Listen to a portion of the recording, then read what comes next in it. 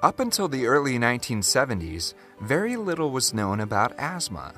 There were no tests to be done and no effective medicine available.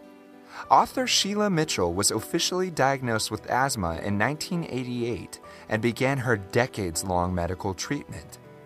Many asthmatics believe they can never participate in sports, and parents often stop their asthmatic child from taking part in activities because their child may cough or get out of breath with exercise.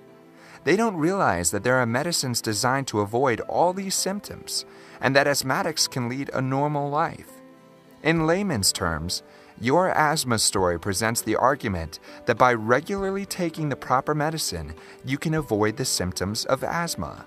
The important thing to remember is that you must continue to take your medicine even when you feel better. Gasping and shortness of breath after even minimal activity does not have to be in the cards for asthmatics. Just because you have asthma doesn't mean you can't enjoy sports and reach for the stars. Your asthma story, asthma and allergic rhinitis, hay fever education for the layperson, is available at Amazon.com and other online retailers, as well as directly from the publisher.